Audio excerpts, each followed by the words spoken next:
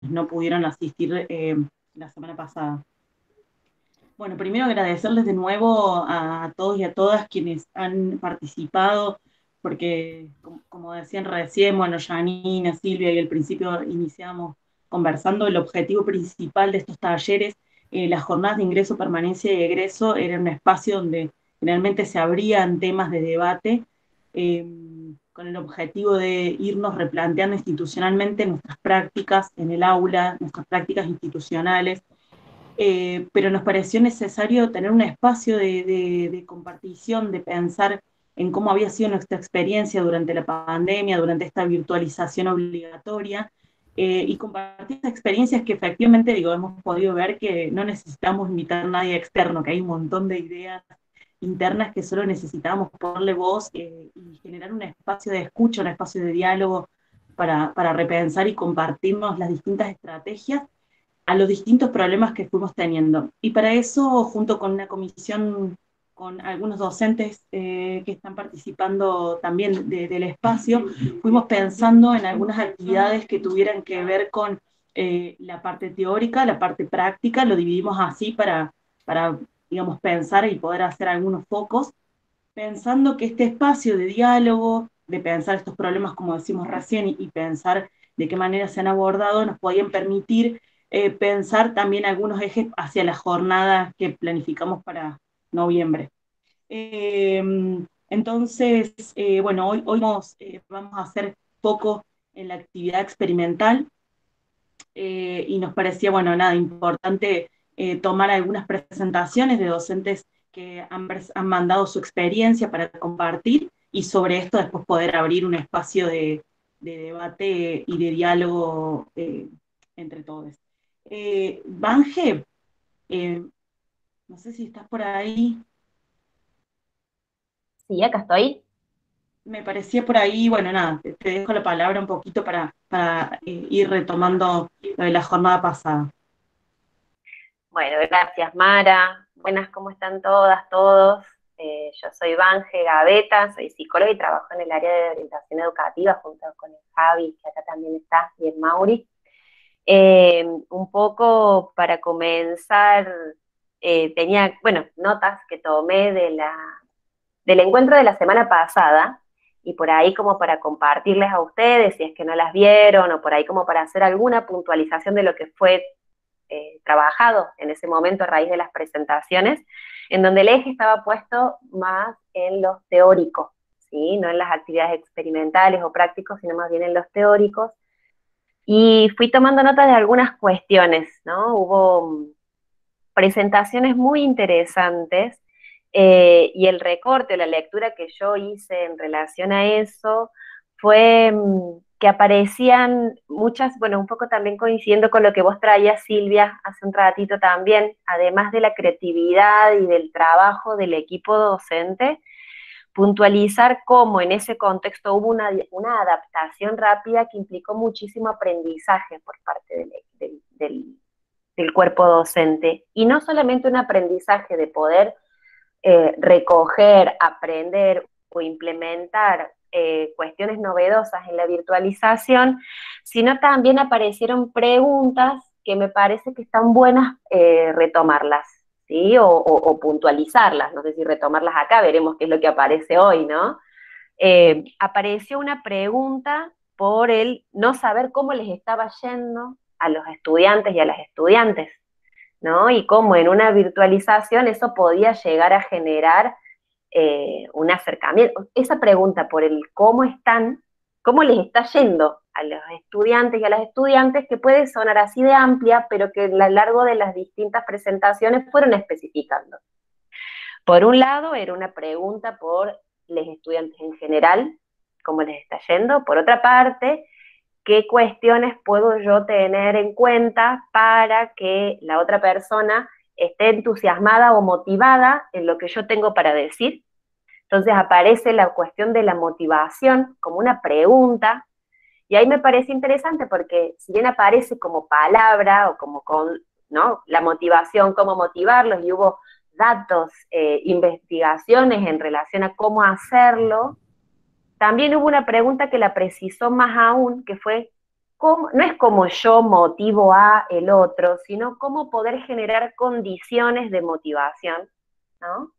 Y ahí la motivación no era solamente la atención, sino también eh, una implicación con lo que hay este juego, con el aprendizaje, con los contenidos, ¿no? Y entonces, así estoy tomando como distintos aportes de distintas eh, ponencias de esa vez, que me parecían que eran interesantes, pues nos ponían a pensar ahí qué lugar eh, tenemos como docentes o tienen ustedes como docentes en, la facultad, en un momento en donde al parecer en la virtualización eh, aparecen distintos recursos. ¿no? Está el recurso del Internet, que al parecer uno puede acceder a todo, pero también hubo una pregunta en relación a esos recursos. ¿Todo recurso sirve? ¿Cómo adapto mis recursos? ¿Qué modalidad van a tener mis recursos? ¿Van a ser solo materiales? ¿Van a ser sincrónicos, asincrónicos? ¿El encuentro es un recurso? Bueno, distintas como cuestiones que fueron como problematizándose y ensayando. Y además de los recursos, también aparecía, y además de las condiciones, digamos, ¿no? de cómo poder generar condiciones para la enseñanza, también apareció una pregunta de cómo generar condiciones para el aprendizaje. Ahí uno de ustedes dijo, para mí una de las cosas que yo me doy cuenta más ahora es que los mecanismos que pongo yo en juego para la enseñanza no son los mismos que los mecanismos de la persona que está en el lugar de estudiante, ¿no? Entonces hay una diferencia entre el dar la materia y el aprender la materia, ¿no? Em, lo cual también hablaba ahí de qué lugar va a tener el docente o qué lugares posibles, no porque haya un lugar y eso también salió, ¿no? No hay una receta, sino cómo hacer eh, o qué lugares posibles para los docentes y las docentes hoy en virtualidad, ¿no? Y ahí aparecieron algunos conceptos interesantes, ¿no? Como el docente guía, eh, el que puede elaborar o indicar a dónde están los recursos, elaborar recursos, cómo, y esta es una palabra mía que yo pensé luego, como cómo mediar ahí, ¿no? Em, y por otra parte, cómo hacer con el espacio de lo virtual un espacio en donde el otro o las otras, los estudiantes, tengan un lugar más activo, entonces aparecieron estas ideas que tal vez muchos de ustedes utilizaban, pero creo que, ahora hay con una densidad mayor, que era como, bueno, invertir el aula. ¿Cómo es esto de dar vuelta? Y dar vuelta el aula, que sean eh, los estudiantes quienes tengan que decir algo y no solo el docente o la docente, ¿no? Concepto interesantísimo que también trae sus riesgos, ¿no? Como y esto también, ¿no? Cada quien de ustedes se encargaba también de aclarar de que no eran soluciones al 100%, sino de que eran cosas que se iban probando y tenían mayores o menores de resultados, mejores o peores resultados, de acuerdo al año, de acuerdo si fue el año pasado o este, en qué año estaban, eh, si eran quinto, cuántos estudiantes había, ¿no? Em, qué tipo de asignatura era, ¿no? Porque había algunas que convocaban más desde la expectativa de pipetear y tuvieron que hacerse con ese problema, cómo podemos sostener la experiencia de un pipetear y no solamente de contarles de lo lindo y fantástico que es pipetear en un contexto de pandemia, ¿no? Em, y por otra parte, esto del feedback y del intercambio. Y ahí aparecieron algunas cosas interesantes. Decía recién, no me acuerdo quién de ustedes, como implementar algo y con una encuesta validar que de alguna manera eso qué resultados tuvo. O esto que vos decías, Yanni, recién, bueno, una anécdota no es evidencia, pero hay algo que en las experiencias concretas por ahí, como que lo cuantificable nos da una seguridad y nos da una validación pero también ahí me parecía interesante pensar que en las experiencias, que lo que ustedes van viendo y van evaluando, también tiene ese valor que a veces es difícil de, sopesar en comparación, ¿no? Que es difícil, sobre todo cuando eso está siendo en este mismo momento en el que estamos implementando las cosas. Y ahí apareció alguien que nombró a personas que a mí me parecían claves, que no habían aparecido en otro momento, como son los ayudantes alumnos, las ayudantes alumnos y adscriptes, que por ahí oficiaban de tener una llegada con los estudiantes, eh, tenían una data, tenían una data era distinta a la data que podían tener como ustedes como profes o que les llegara como un mail. Y me pareció clave como que eso apareciera ahí como actores importantes a pensar en esta dinámica que tenemos de dar clases, ¿no? ¿Qué información, qué lugares pueden tener esos roles, tal vez intermedios, eh, pero que por ahí puedan tener otra circulación de cómo, en esta pregunta de cómo les está yendo, O qué es lo que va apareciendo como problema. Eh, distintas cosas aparecieron ahí también. La importancia o qué lugar les estamos dando a los errores de los estudiantes o las estudiantes, por qué es que hay dificultades para plantear algunas preguntas o para hablar, hay quienes presentaron experiencias de aprendizaje entre pares, hasta incluso correcciones entre pares, ¿no? ¿Qué lugar a eso de los entre ellos o ellas que pueda favorecerse? ¿Qué, qué onda con la frustración? ¿Qué pasa en virtualidad cuando aparece una experiencia de aprendizaje que genera frustración?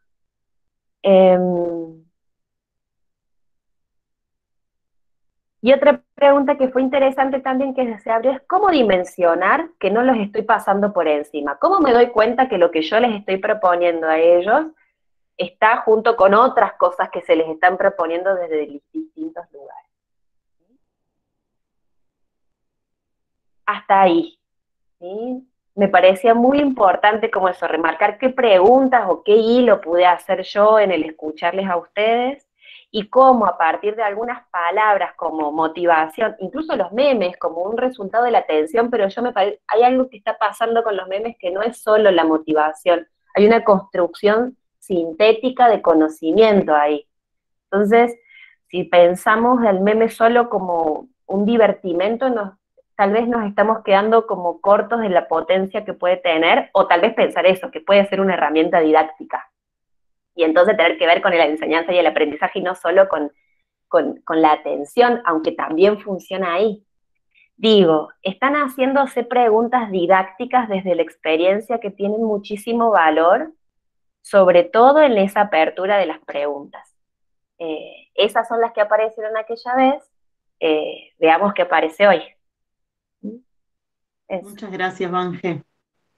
Muchas gracias porque nos parecía que por ahí esto poner, eh, em, digamos, en algunas, poner algunas preguntas en juego y, hacer un pequeño resumen de lo que había ocurrido también nos permite pensar preguntas hacia después. Em, hoy vamos a, iniciar con las experiencias de la parte práctica. nos van a acompañar en las experiencias Alejandro Flacaroli de Laboratorio 1, Natalia Villegas de Farmacia Comunitaria, eh, Pablo García de Laboratorio 3, Dafne Zaporito de eh, Química Analítica Avanzada y Germán Soldano de Matemática 1. Así que vamos a iniciar. Eh, hemos tratado de poner la consigna de que sean tres minutos, así podamos darle espacio al debate. La idea es que seis y media podamos estar finalizando, así que em, tener un rato para debatir y compartir las cosas que nos vayan surgiendo a partir de estas experiencias. Así que damos inicio. Ale, Sí, Mara, ¿cómo va? Bueno, buenas tardes a todos. Este, antes que nada voy a agradecer entonces el espacio porque, bueno, como les decía la semana pasada, en lo personal nos ha sido muy útil el tema de poder construir en conjunto. Yo creo que no nos hubiéramos podido adaptar a la que nos tocó el año pasado y este año, este, si no hubiera sido porque aprendimos de la experiencia de todos, ¿no? Em, bueno, entonces yo había planeado para estos tres minutos, que son un desafío, eh, contarles un poquito la experiencia del Laboratorio 1. Y, no es mi experiencia, es por supuesto algo construido entre un equipo de trabajo. Nosotros somos 20 eh, docentes, o sea, son 16 docentes auxiliares, 4 profesores responsables y como van a ver más adelante que es crítico, también algunos ayudantes a alumnos. Entonces, bueno, Eh, cuando comenzó todo esto, el año pasado, por supuesto, nosotros eh, nos empezamos a mirar y a preguntarnos qué vamos a hacer, porque obviamente el Laboratorio 1 no es una materia fácilmente virtualizable. Entonces, bueno, eh, la idea de hoy es contarle en tres pasos que fueron de alguna manera clave para construir lo que hoy tenemos en el Laboratorio 1, eh, qué, fue, qué fueron esos milestones que nos ayudaron, digamos, a, llegar hasta donde estamos hoy.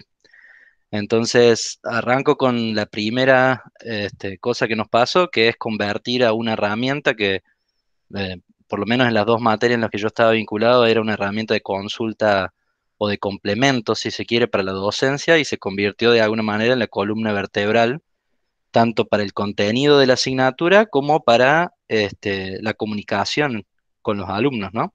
Así que la plataforma Moodle, por supuesto, fue muy importante, fue por donde nosotros arrancamos a comunicarnos con los alumnos y a organizar la materia de forma virtual.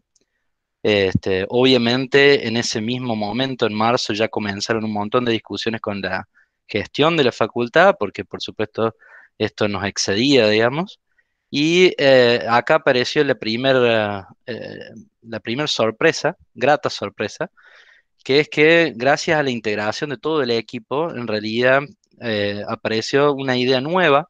Nosotros no habíamos pensado en esto, pero apareció la idea a partir de dos ayudantes alumnos de virtualizar las actividades de laboratorio, inclusive antes de que lo discutiéramos eh, entre nosotros que estábamos organizando la asignatura y con Secretaría Académica, estas dos este, ayudantes alumnos de las materias, eh, bueno, buscaron ellas mismas un software que era acorde a las actividades experimentales del Laboratorio 1 y virtualizaron, eh, después con ayuda de otros ayudantes alumnos, pero primero ellas dos, virtualizaron algunas de las experiencias del laboratorio. O sea, ahí comenzamos, o sea, fue básicamente un abrir eh, los ojos y decir que, bueno, que las novedades en realidad vienen de abajo hacia arriba. Este, acá es donde yo valoro, por ejemplo, la experiencia que comentaba Germán también, que por ahí son herramientas que a nosotros no se nos hubiera ocurrido y tuvieron mucho impacto en los alumnos del laboratorio 1. O sea, estos prácticos virtualizados, si bien no reemplazaban de ninguna manera los presenciales, fueron una parte importante del contenido del laboratorio 1 en el, 20, en el 2020, ¿no es cierto? Entonces, acá hacer hincapié en este, el trabajo en equipo, básicamente, las soluciones más importantes surgen a veces de lugares donde nosotros habíamos pensado que teníamos que de alguna manera organizar la materia y fue al revés. En realidad los ayudantes alumnos nos, dieron ideas para organizarla. Después, eh, bueno, no me presten mucha atención a esta foto del lado, digamos, pero ya en una segunda instancia, a principios de este año, contamos con también el apoyo de la parte audiovisual de la facultad. Eh, no lo hicimos el año, en el año 2020 porque a nosotros lamentablemente nos agarró muy de golpe.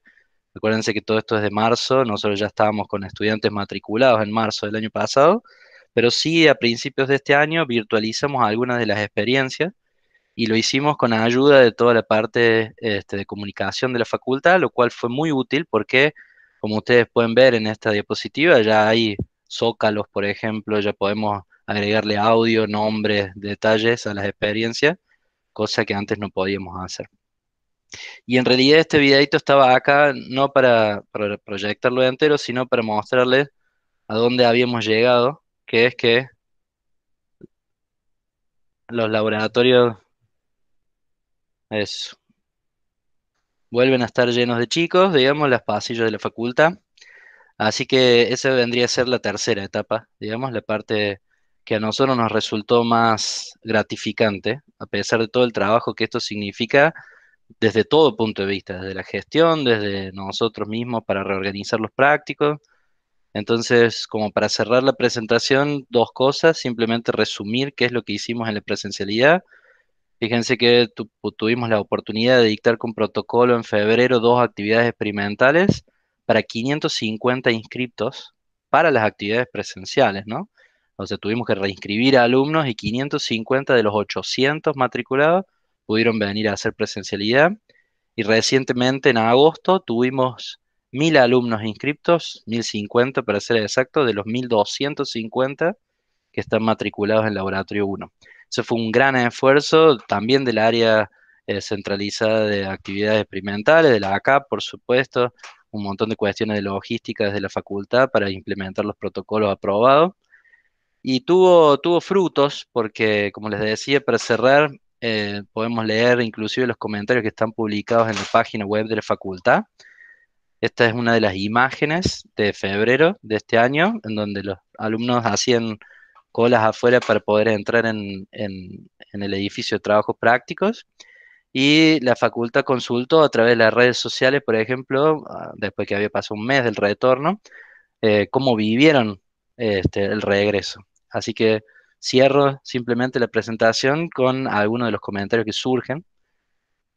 Fíjense que, bueno, después de estar eh, agotados, digamos, por todos los nervios que implicaba esta presencialidad, podíamos leer cosas como esta y, bueno, realmente eh, quedarnos conformes con la tarea realizada, ¿no? Bueno, algunas, fíjense que se complicaba la visión porque se le empañaba este, con el barbijo y los lentes, pero bueno, eh, otras cosas este, mucho más motivadoras, como por ejemplo, eh, fue lo mejor en mucho tiempo. Yo calculo que eso excede a lo que nosotros podemos darle de la facultad. Estaba hablando de todo lo que nos pasó en el 2020, en el 2021, y bueno, este, que haya sido motivador para los estudiantes, para nosotros es el premio al esfuerzo, digamos. Así que bueno, eso nada más. Muchas gracias y la idea es que, bueno, invitarlo a la discusión hacia el final cuando, cuando podamos conversar. Gracias, a todos. por la presentación y por haber formado también parte de, la organización. Em, ahora está la experiencia de Natalia Villegas de la asignatura Farmacia Comunitaria, una asignatura de quinto año de, la carrera de farmacia. Bueno, hola, ¿cómo están? Buenas tardes a todos.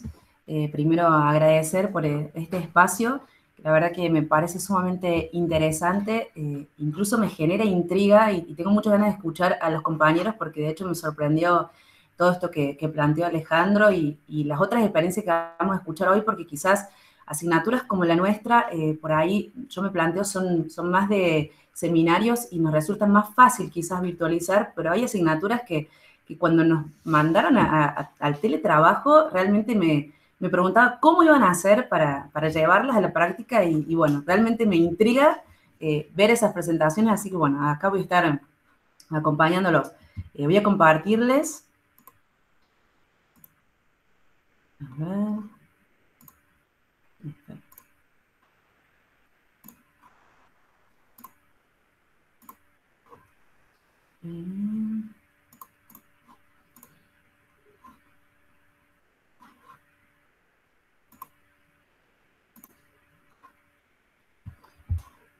¿Ahí ustedes lo ven? Sí, se ve. Sí, se ve. Capaz que si lo puedes agrandar. Espera, voy a compartir mejor la pantalla completa. O poner, poner en modo presentación, Nati. Sí. Espera, vamos a poner modo presentación. Discúlpeme que yo soy media nueva con el Meet, eh, porque ya les voy a contar, nosotros tenemos una lógica distinta con la asignatura. A ver, creo que era... No, pero no me deja... A ver. Mm. Y eso que ayer lo probé. ¿Ahí ustedes lo ven? No, ponele compartir toda la pantalla, Nati, porque si no, cuando lo proyectas te lo, te lo saca. Ah, bien. Sí, es que lo puse toda la pantalla, pero después. Espera. Cuando puedo compartir toda la pantalla no veo el, mi archivo.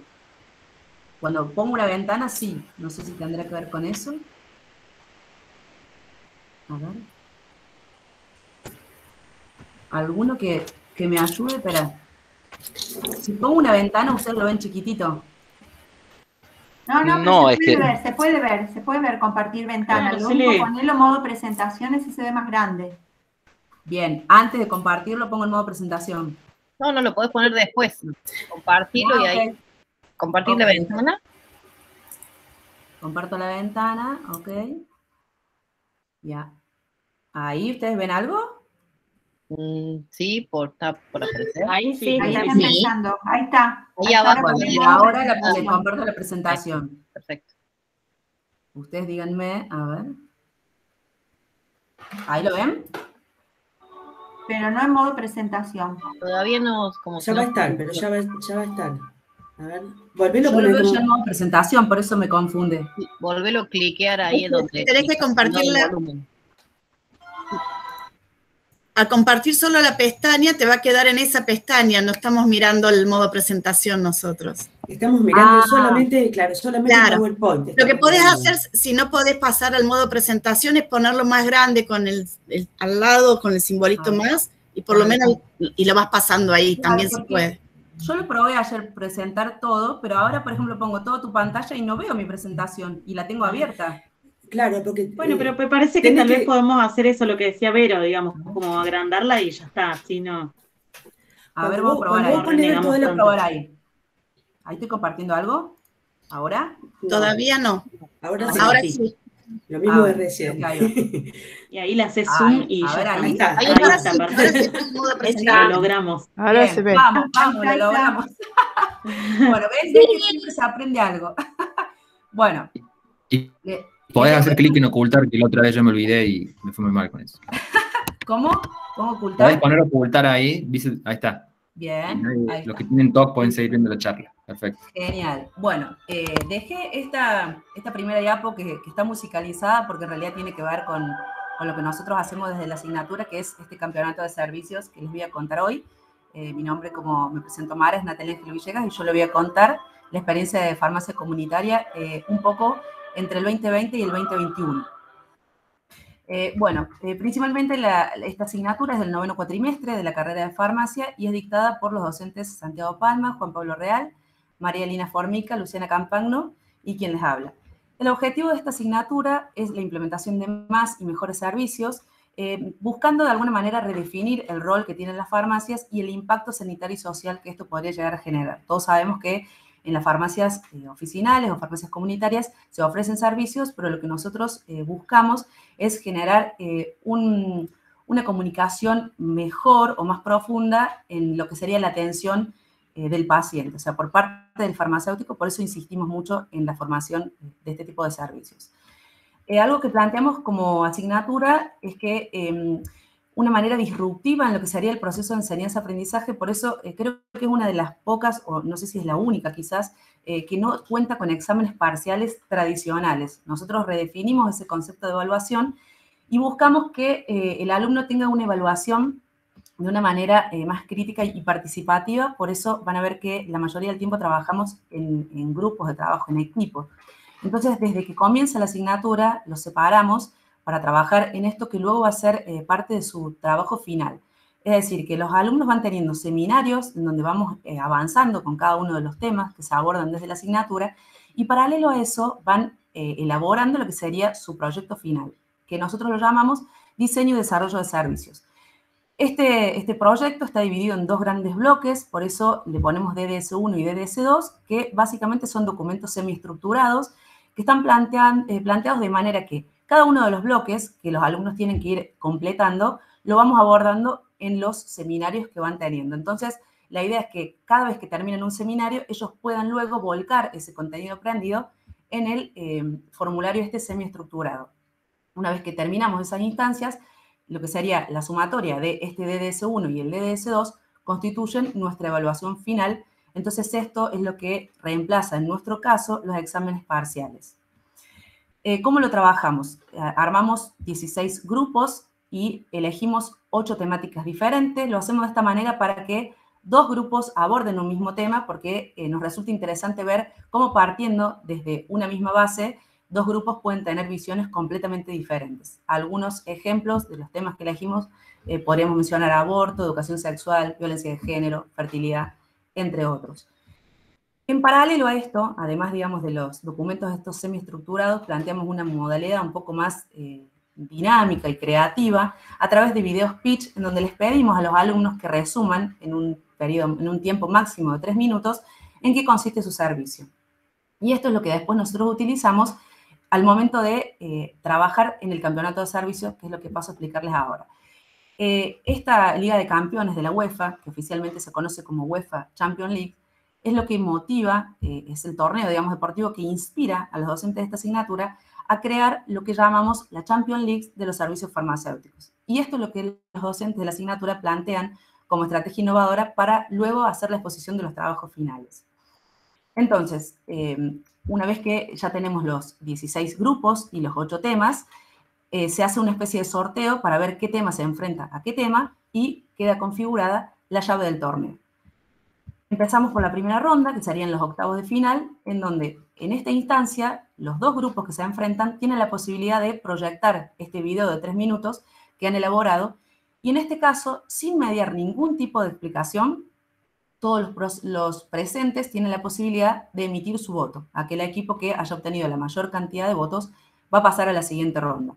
Antes de pasar a la segunda ronda, eh, nosotros como estrategia docente y un poco en, el análisis de los trabajos eh, a medida de que han ido pasando los años, hemos visto que eh, por ahí quizás quedaban fuera en la primera ronda algunos equipos que, según nuestro criterio y según esta evaluación que nosotros hacíamos con los formularios, eran trabajos muy buenos y que quizás por esta cuestión de la competencia algunos grupos se veían más beneficiados que otros, entonces les dábamos la posibilidad a cuatro trabajos de estos ocho equipos que habían sido eliminados pudieran tener la posibilidad de pasar a la segunda ronda y seguir de esta manera en competencia. En una segunda ronda, que en definitiva serían los cuartos de final, eh, en realidad nos quedan conformadas tres zonas de tres equipos cada una, teniendo en cuenta que traíamos ocho equipos de la ronda anterior, más cuatro que se suman en el repechaje, entonces tenemos tres rondas de tres, tres zonas de tres. En esta instancia, cada grupo tiene que responder dos preguntas que vienen formuladas por sus equipos rivales y para eso tienen un máximo de dos minutos para poder responder. Una vez que finalice esta instancia, de nuevo se procede a la votación y el equipo que obtiene más votos pasa a la tercera ronda o semifinal. En esta eh, instancia, cada grupo tiene la posibilidad de presentar su servicio ahora ya en formato de publicidad. En este caso, lo que tienen que hacer es eh, vender su servicio al público objetivo y para eh, esta eh, actividad en particular, los alumnos deciden el formato que presentan. O bien pueden traer un video elaborado, o pueden hacer un audio grabado, o pueden eh, hacer una presentación en vivo. Esto es completamente libre, lo definen los alumnos trabajando en grupo. Se procede a la votación y llegamos a la instancia final, en donde ambos finalistas se enfrentan mediante una exposición oral, en donde cada grupo tiene dos minutos que puede aprovechar o bien para resaltar los beneficios que ofrecen a la población con la implementación del servicio que han propuesto, o bien pueden aprovechar para responder a críticas que puedan haber tenido anteriormente en las rondas eh, en las que se fueron enfrentando. Se procede a la votación de todos los presentes y de ahí obtenemos el campeón. Una aclaración importante es que eh, este campeonato de servicios nosotros lo consideramos como una manera didáctica de presentar estos trabajos pero el resultado de este campeonato no tiene nada que ver o no condiciona lo que, es, lo que es la evaluación de los trabajos en grupo, que eso en realidad va por otra vía, en donde los docentes eh, analizan los trabajos presentados por escrito y en función de eso es que se pone una nota. En definitiva, esta Champion eh, es una excusa para que los alumnos puedan disfrutar de lo que han aprendido durante todo el cuatrimestre y puedan comprobar la evolución conceptual que han tenido de un modo individual y también de un modo colectivo, porque como les decía, se trabaja eh, siempre de manera grupal.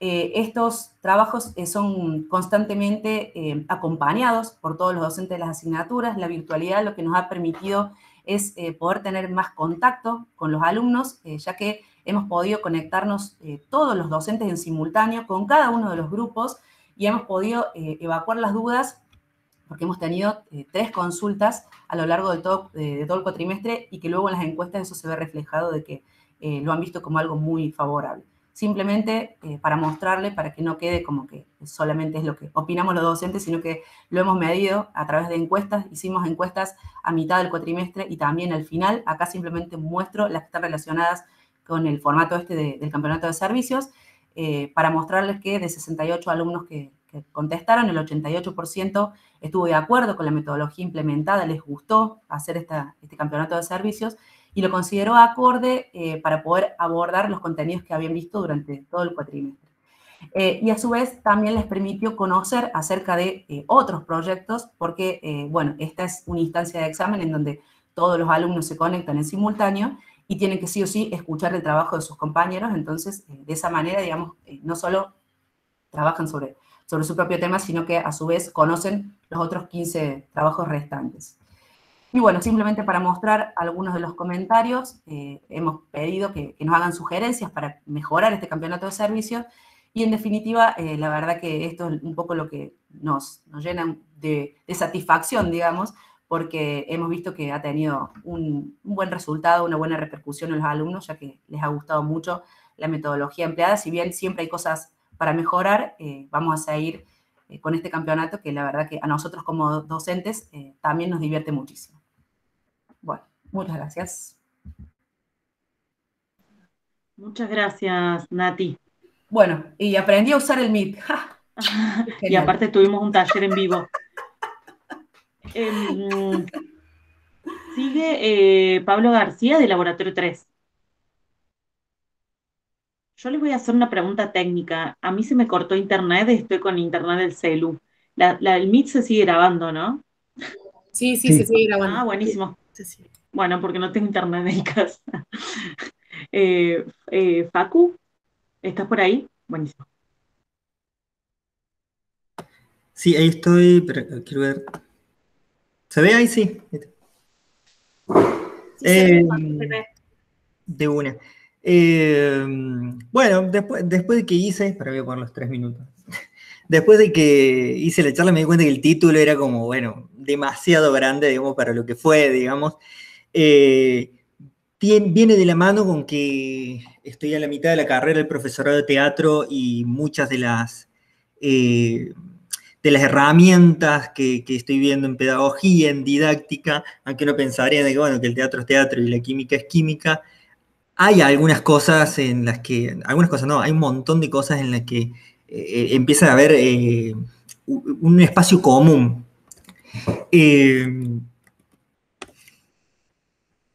plantea esto, ¿no? Tres, tres, tres, partes, digamos, por una pedagogía del disfrute del cuerpo y de la pregunta en laboratorio 3, pero esa es la materia que doy. Por una pedagogía le pregunta, porque si bien Freire, Freire, y, después llevar Freire al aula es, un lío, ¿no? Está muy lindo en los libros. Eh, hubo un libro de mm, Paulo Freire y de Antonio Faundes, eh, que se llama Por una pedagogía de la pregunta, en donde justamente ellos hablan de, de, preguntar como un, acto, como, como un acto democrático, ¿no? Y cómo con el correr de los años la pregunta se ha transformado en algo que es parte de la burocracia. Tienen dudas, tienen preguntas, sí, no y, punto, digamos. No es la pregunta, el punto de partida, digamos, eh, para salir a trabajar en clase. Eh, y en una materia como Laboratorio 3, eh, me parecía que eso era clave, digamos, como formato curricular del laboratorio, casi que no es laboratorio si no tiene preguntas. Y yo me negaba a ir a clase virtual a responder preguntas, eh, a, dar respuestas de preguntas que los chicos no se habían hecho. Entonces planteé un esquema de, de, evaluación continua, eh, en donde ello, la evaluación era hacerse preguntas sobre distintos temas, ya sea enlistarlas de esta manera o bien hacer preguntas de tipo parcial. No, yo no les pedía que les resolvieran, sino que hicieran la pregunta. Y el solo hecho de tener que forzar esa idea de tener que sentarse a hacer una pregunta, ya era eh, más que suficiente porque tenían que saber, tenían que conocer mucho. Eh, digamos, eh, pregunta el que sabe, digamos, eso lo sabemos cuando, cuando damos clase de consulta, pregunta el que sabe. Entonces, atento a esa premisa, digamos, utilicé esto, digamos, en dos instancias de la evaluación continua. después pensar esto, ¿no? De que no son, nosotros no le damos clase a cabezas, a, mentes, a, a, lo pensante, ¿no? Sino que, y, más en mi materia, eh, es una materia donde había que poner el cuerpo y, a partir de la premisa de que la conciencia corporal es parte del aprendizaje, se les pidió a los chicos, como parte de una evaluación continua, que se filmaran aquellos que podían, eso se adaptó curricularmente, eh, según las posibilidades, que con lo que tuvieran en la casa ellos jugaran a... Eh, a, hacer parte del, de uno de los, trabajos prácticos. Eh, creo que fue el de síntesis orgánica. Y por último, también pensar esto, ¿no? En qué momento eh, aprender se convirtió en, eh, en algo que no nos gusta, ¿no? En algo que no puede ser un juego, en algo que no puede ser divertido. Contraponemos lo divertido a lo riguroso o, lo divertido a lo que está bien o lo que está mal. Atento a eso, también otra de las pruebitas que, que, le tomé a los chicos, digamos, es esto, ¿no? Hacer memes. Eh, sobre eh, marchas cateónicas y marchas eh, aniónicas. esas fueron algunas de las, de las, de nada, en tres minutos las premisas con las que trabajé para, poder sostener las clases, para poder sostener la evaluación continua. ¿Qué es lo que me queda futuro? Sistematizar un poco esto, digamos, me parece que el espacio, agradezco el espacio porque me parece que eh, eh, permite no solamente sistematizar lo mío, sino sistematizar lo de todos, que todos conozcamos lo que todos estamos haciendo, eh, porque eso, digamos, esto puede terminar en un en un documento, en un archivo, algo que les sirva, digamos, a futuros profes. Y sí tengo la idea de eh, eventualmente entrevistar a los chicos, a los chicos y a las chicas eh, que, pasaron por este proceso, digamos, para ver si puedo rescatar eh, algo más, más allá de la, de la impronta que, yo tengo y que creo, a juzgar por los, los comentarios de los chicos, que ha sido favorable. Así bueno, eso, muchísimas gracias. Muchas gracias, Facu.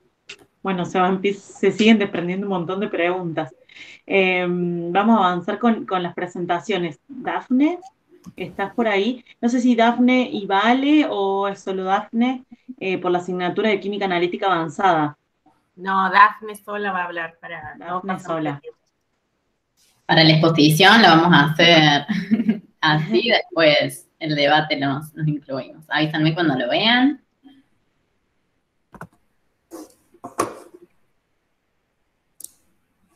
Ahí se ve. Perfecto. Bueno, sí me voy a tomar un poquito más de, los tres minutos.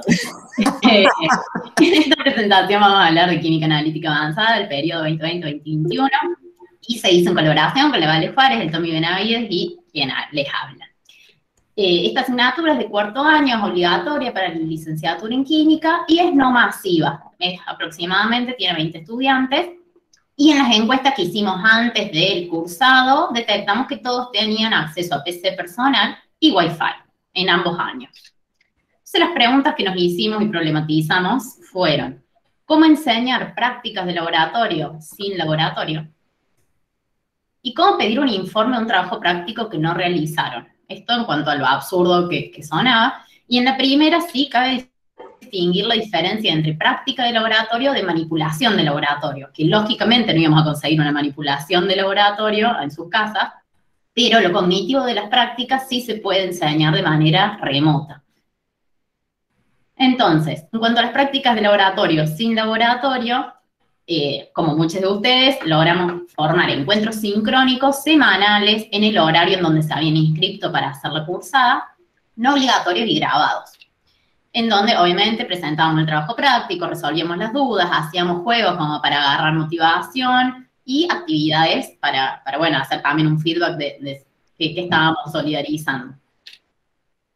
En estas seis horas de, de, laboratorio que no existían y pasábamos a una, dos horas de encuentro sincrónico, surgió la idea de hacer un foco en el procesado de cromatogramas, de curvas de calibración, de espectros, de patrones de fragmentación, que antes no se hacía tanto y el uso de software. No voy a entrar en esto porque no me da el tiempo, pero por ahí estaría muy bueno para el debate, pues serían cosas que por ahí están buenas pensarlas incluir en un formato híbrido o a posterior de fin de situación sanitaria particular. Como mencionó el FRACA, también los videos en el 2021 fueron muy distintos a los de 2020 cuando los pudimos hacer efectivamente en el laboratorio y mostrar nuestra experiencia, la ideal, la que queríamos mostrar. Tampoco voy a hacer mucho hincapié en esto. Y sí voy a desarrollar un poquito más lo del efecto Tupper. Efecto Tupper le llamo yo a la diferencia entre los laboratorios en los que fui cursando y encontrarnos con el mise en place total de los elementos que íbamos a usar para hacer la práctica y las avanzadas en donde había un tupper gigante con material de sobra, material de más, y el profe te decía, arma todo lo que vos necesites usar para tu experiencia. Y era el primer momento en donde te das cuenta que había pipetas grabadas, pipetas bol, pipetas, y decías, ¿cuál es la diferencia de cuál? ¿Por qué voy a usar cuál? Y el profe me está mirando y va a ver esta lección y yo debería saber cuál es la diferencia entre un Erlenmeyer con y sin estándar. Entonces, eso lo intentamos suplir un poquito con esta página que permite armar estas mesadas.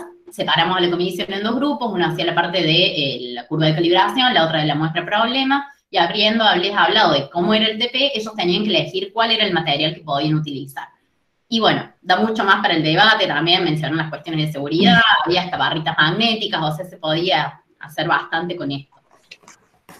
Y lo que sí, también nos avivamos en el 2021, que creo que fue también lo que mencionamos mucho en el taller, la posibilidad de tener este feedback real, de hacer las encuestas y de ver cuánto habíamos avanzado, qué habíamos hecho y qué tomaron los estudiantes. Entonces, en cuanto a esto de las prácticas de laboratorio, preguntamos qué se podría mejorar en las clases síncronas. Sí nos mencionaron que podríamos hacer más dinámicas participativas para enganchar, hicimos algunas y estuvieron buenas, y nos parece muy útil, fueron ideales, por nada. O sea, la gran mayoría no nos dio como mucho feedback, pero de nuevo volvemos a que no era muy masivo. Y finalmente, en cómo pedir un informe de un trabajo práctico que no se realizó, decidimos hacerlo en cuestionarios con dificultad creciente. La idea era hacer un modelo de informe sin una introducción para no infoxificar tampoco a que estén buscando mucha info de hacer una, una introducción de un tema que tampoco lo iban a poder hacer con preguntas abiertas a desarrollo en donde se enfoca en el diseño experimental y espacio para sus datos procesados, que esta es la primera vez que los presentaban procesados por ellos, y los resultados calculados, el análisis, conclusiones y anexo que siempre se venía haciendo.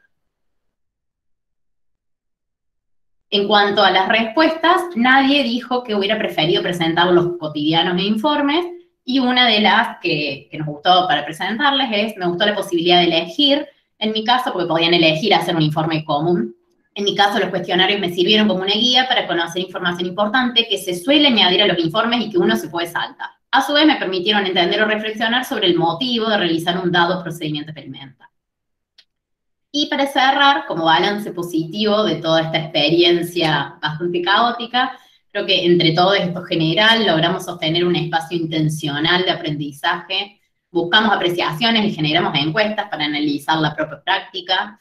Creo que la sincronía permitió administrar los tiempos tanto del equipo docente como de todo el estudiantado. Sin embargo, la sincronía brindó espacio de conversación y como vimos la semana pasada, no nos quedamos en los foros con lo asincrónico. Y en particular de nuestra asignatura sí vimos poca deserción y mucha comunicación con estudiantes. Aprovechamos a trabajar el procesado de datos, que por ahí es algo que uno aprende más bien en el doctorado y no tanto en la carrera.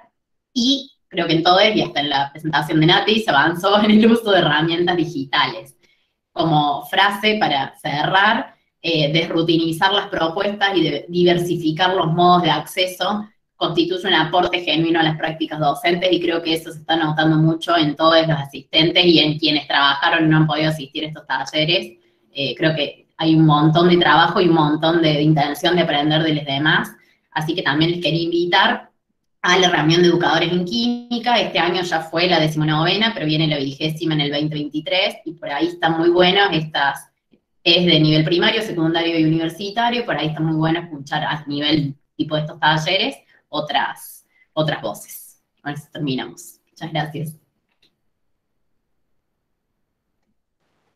Muchas gracias, Dafne. Em, bueno, ahora vamos a la última presentación que tenemos hoy de, la parte experimental y parte práctica, eh, de Germán Soldano, que nos dividió la presentación la semana pasada un poco de lo referido a lo teórico y esta vez a lo, a lo práctico. Bueno. ¿Me ven y se ve la presentación ya? Sí, se está viendo perfecto, Germán. Bueno, genial. Bueno, como acaba de decir Mara, eh, ya había presentado algo de teórico, así que intentar mantenerme cerca de los tres minutos. Eh, ahora vamos a hablar un poco de la parte práctica y de cosas muy puntuales, porque la verdad hay un montón para hablar, como seguramente todos y todas se han quedado con ganas de contar más. Eh, somos en Matemática 1 16 docentes, 3 ayudantes y 3 profesores, Esther Galina, Belén Oviedo y yo, Germán Solano. Una cuestión que voy a abordar ahora, que fue bastante problemática y que ya venía siendo un problema es la deserción, el desaliento por no poder resolver, eh, resolver ejercicios de la guía y la dificultad que tiene el estudiantado de no distinguir lo que se entiende de lo que no se entiende. Porque una cosa que siempre damos por hecho, pero no es tan fácil, es que él y el estudiante no sabe que no sabe. Entonces, nosotros sí, entonces para nosotros es obvio, te falta esto, pero cuando uno se pone en el lugar del estudiante, no saber cuánto te falta para comprender es una causa de deserción y es una causa de frustración. Entonces, dentro de la virtualidad, una solución propuesta fue autoevaluaciones en Moodle, que curiosamente comparte la característica que mencionaba recién Dafne, de ser ejercicios en orden creciente de dificultad, y eso es clave. En un pantallazo les cuento todas las características y después vamos desglosando. Son ocho ejercicios clave eh, en orden creciente de dificultad, asincrónicos, sin límite de intentos y con retroalimentación. Entonces, en la plataforma de Moodle diseñamos estos ejercicios, a veces tienen 5, a veces tienen 8. Podían ser gráficos, hay, como habrán visto, hay una gran variedad de cuestionarios que uno puede hacer y de, tipo de preguntas que uno puede hacer en Moodle. Y la característica, digamos, distintiva que tiene esto es que eh, uno puede escribir, de acuerdo a la elección que hicieron los estudiantes, una devolución. Bien, puede hacer una devolución general de lo que se intentó abordar en el ejercicio y luego una devolución particular respecto de cada opción, sea eh, afirmativa o negativa, eh, o sea, correcta o, no correcta. Entonces, desglosando por qué estas características. Hasta ocho ejercicios clave, porque una dificultad que siempre vemos en la guía es que, imaginémonos un estudiante o un estudiante que quiere resolver una guía que tiene 30 ejercicios, que no están ordenados en orden creciente dificultad, tiene la sensación de que si hizo la mitad, aún no sabe si todo lo que resolvió es suficiente para sentirse seguro de que sabe. Bien, entonces tener ocho ejercicios clave, o cinco, pero no más, eh, puede ser muy útil. Y además, que sea en orden creciente de dificultad y que el primer ejercicio sea sumamente fácil, en, nuestro caso implicaba hacer cosas elementales que ya se conocían, que ya debían saber, inclusive abordamos más lo que son eh, funciones, eh, como es matemático, hacemos mucho lo que era interpretación de gráficos, ¿bien? Eh, haciéndolo lo más sencillo posible. Y que ese primer ejercicio sirve, sirva para motivar, ¿bien? Para continuar. Si el primer ejercicio de una guía es muy difícil, tenemos un problema. Eh, eso también, bueno, como les digo, evita que se frustren, se ubican rápidamente en la materia, es decir, si llegaron hasta tal ejercicio, como están ordenados en orden creciente de dificultad, saben que hasta ese ejercicio pueden resolver y ya vislumbran qué falta. Ya hay un horizonte de hasta dónde eh, necesitan alcanzar para saber lo elemental de la materia. Y por último sirve como entrenamiento para el parcial. Esto de la retroalimentación eh, permite obviamente autocorregirse y además fomenta la educación autodidacta. El sin límite de intentos apunta a que pueden aprender instantáneamente después de hacer el, parcial con, de, perdón, de este eh, cuestionario, pueden eh, volver a intentarlo y como los ejercicios son de forma aleatoria, que ahora vamos a entrar en detalle qué es eso, no siempre es el mismo parcial. Entonces, realmente están testeando, están evaluando si han aprendido lo que acaban de, lo que acaban de equivocarse. Quedan preguntas pendientes como cómo se implementa esto, después abrimos el debate con esto si quieren, eh, porque, bueno, podría ser obligatorio antes de los parcialitos. Nosotros, en este caso, hicimos que fuera obligatorio realizarlo antes de los parcialitos, pero no aprobarlo. Bien. Y después, muy rápido esta parte, em, el problema que todo el mundo tuvo durante los, el diseño de exámenes virtuales era la facilidad para copiarse que implica el examen virtual.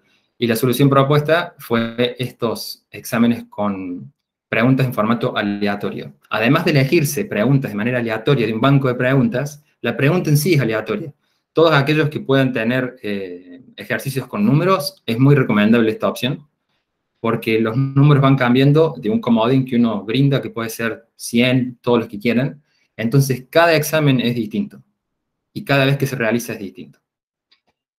Eh, y por último, en los exámenes, puntualmente cuando se están realizando, esto probablemente ya muchos lo están implementando, cinco minutos, ya terminó, em, pasa esto que hay mucho tiempo de espera en que las salas estén listas para que todos comiencen al mismo tiempo. Pero empezar al mismo tiempo es una muy mala idea porque colapsa el servidor. Entonces, un tiro que mata dos pájaros ahí es el examen con contraseña. Por ejemplo, en esta parte, en el diseño del examen, ponemos una contraseña como esta, y de esa manera tenemos dos soluciones. Esto lo, escribe el, él o la docente cuando ya está lista su sala. Ni siquiera tiene que avisar que está lista. Simplemente escribe esa contraseña en el chat del Meet y esa sala ya está lista para comenzar y puede comenzar. Por la simple aleatoriedad de los eventos, es muy raro que todas las salas terminen al mismo tiempo, eso no va a ocurrir nunca. Y entonces, por un lado, no, ninguna sala espera otra, y por otro lado, no se colapsa el servidor. Bueno, eso es todo. Muchas gracias. Muchas gracias, Germán, y, gracias a, todas las presentaciones. Em, bueno, nuestra idea es, es, a partir de esto poder eh, em, abrir la palabra, digamos, de, forma ordenada y tal vez concisa, pero sí, digamos, poder abrir un poco el debate en torno a estas problemáticas y a la manera en las cuales se abordaron, qué cosas empiezan a surgir para empezar a pensar inclusive hacia adelante. Em, nuestra idea también, uno de los objetivos de este taller no era solamente visualizar la tarea docente y en esta, los aprendizajes en, este periodo y poder socializarlos, em, sino también pensar eh, qué, temas tenemos que seguir debatiendo eh, y en dónde tenemos que poner el objetivo y el ojo institucional. Así que, bueno, nada, empezamos a, si les parece, a abrir la palabra. Em, y bueno, vamos haciendo circular de poquito las sensaciones, las experiencias.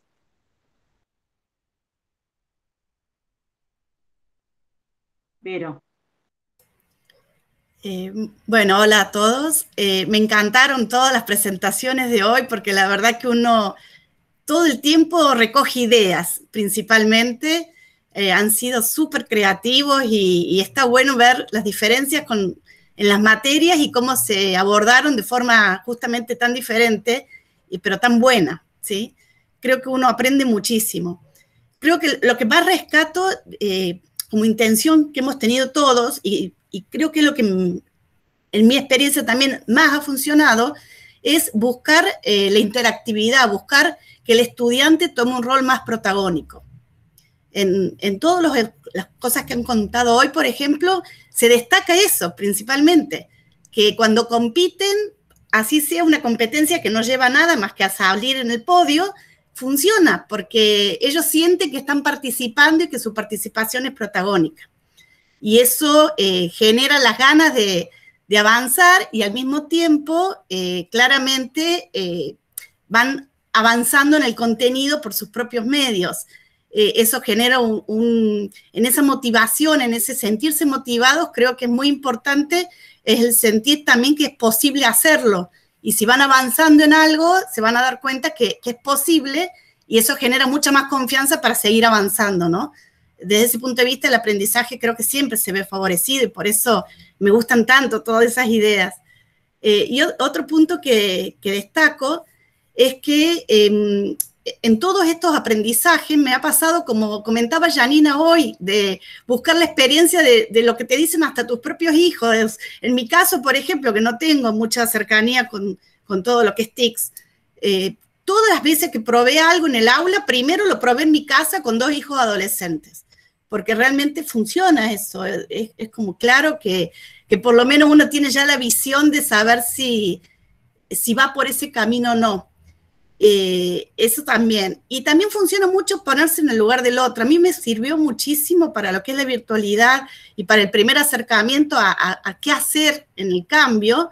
Eh, los mismos cursos de ser alumno virtual en un curso de docencia en la virtualidad.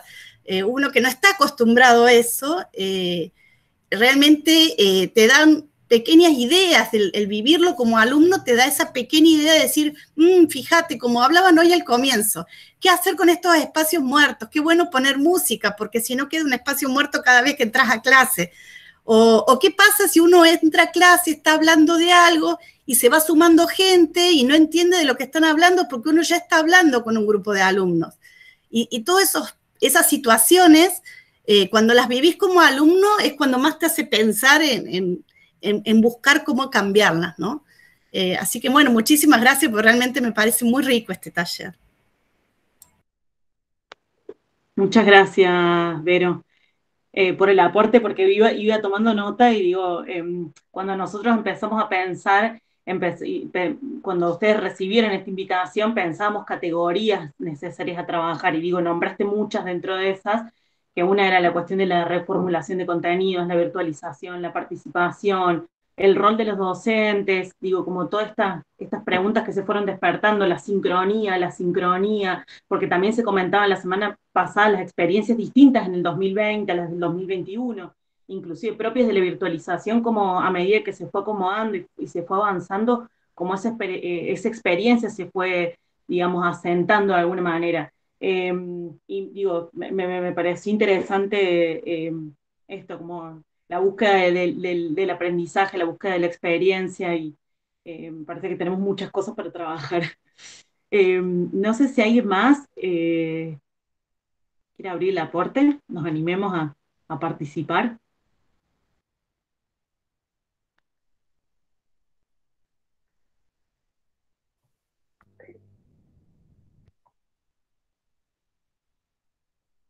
¿Me pueden escuchar? Sí, Lilian. ¿Qué tal? ¿Cómo les va? Eh, apago la cámara porque estoy con problemas de, conectividad, así que me parece que va a funcionar mejor si dejo apagada la cámara. Bueno, en primer lugar, bueno, gracias por el espacio de los talleres. coincido totalmente con Verónica y seguro que con todos. Estos espacios donde compartimos son los más ricos porque no sé cómo hubiéramos hecho si no hubiésemos tenido este intercambio de vivencias, porque digamos, aprendemos todos los días y eh, yo también eh, reconozco encima peor porque no tengo gente joven en, dentro de mi casa, entonces ha sido todo un desafío, este, digamos, de no tener gente joven que esté mucho más familiarizada, así que realmente fue un esfuerzo. Y mm, eh, viendo la materia como tal, una asignatura eh, del último segmento de la carrera de bioquímica, que aunque uno, aunque tenga el nombre de química clínica, hoy en día la química clínica atraviesa por una performance este, donde me sucede algo parecido a lo de Nati, donde no nos fue tan difícil resignar algunas cuestiones de tipo prácticas desde el punto de vista de la adquisición de la destreza manual, porque tiene formatos donde uno puede desarrollarlos con espacios sincrónicos, asincrónicos de interacción.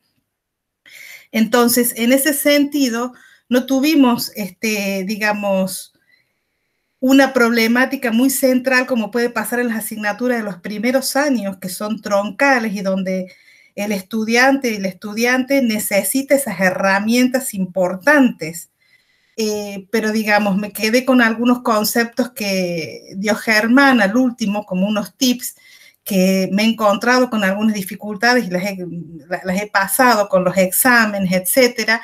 Algunas cosas las hicimos, por ejemplo, tratar de tener las plataformas este, para tener esos procesos de cuestionarios breves, este, ordenados, eh, porque, digamos, de alguna manera que el alumno experimentara y que fuera generando él en función de, una serie de herramientas que uno les da, sino ir tratando de formar ese proceso de, aprendizaje y después tener una, devolución, un espacio de interacción con docentes que moderen. Lo que sí, a veces, eh, digamos, lo que me, plantea eh, la enseñanza virtual es el hecho de que no sé si posiblemente porque uno tiene un, digamos, una concepción muy estructurada, tal vez o muy ordenada de cómo venimos naturalmente formados, de sentir de que ordenamos tanto lo que queremos, porque siempre estamos, pensamos en nosotros, pero pensamos en el, el estudiante y el estudiante, entonces creemos que la información le tiene que llegar ordenada, desde los espacios, desde las preguntas, el material que le doy tiene que tener una jerarquización. No es lo mismo que le dé un montón de papers desordenados a decirles, bueno, acá hay bibliografía básica, sobre todo en, lo que respecta a asignaturas de los últimos años, que están más especificadas y profundizadas en algunos tópicos. Entonces, a veces tengo la sensación de que hoy lo discutía con uno, con mi profesor compañero de la, de la asignatura, ordenamos tanto que no sé si por allí no me estoy equivocando, nosotros no nos estamos equivocando en la asignatura, no, no digo ustedes en general, en decir, no deberíamos tal vez descontracturarnos un poco y darles la libertad para que ellos empiecen si no me da la sensación que por ahí resignamos de darle todo tan ordenado a esa búsqueda personal de elaborar y madurar el criterio para la adquisición de este, conceptos o conformación de conocimientos. No sé qué es lo que experimentan ustedes. Creo que básicamente también nos pasa esto, de que por allí estamos situados en este, en asignaturas que están como en los, en los polos de una determinada carrera, entonces a veces estas cuestiones que digo se pueden más o menos este, magnificar.